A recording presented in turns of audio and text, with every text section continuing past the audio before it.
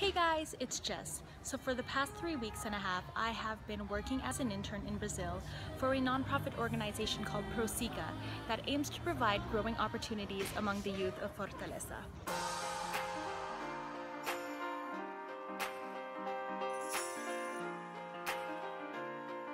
However, these kids aren't your everyday kids. They live in favelas in an often unstable environment. Their parents have untraditional jobs, and the children are often exposed to troubled situations. Prossica is an organization that brings these kids and teens together in order to improve their quality of life.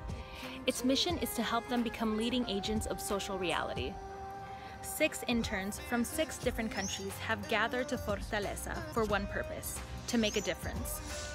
Some of the interns help Prossica by teaching the kids about different cultures, while the others work on their social media pages in order to spread awareness about the organization. Our goal is to raise money to refurbish the interior and exterior of Prossica.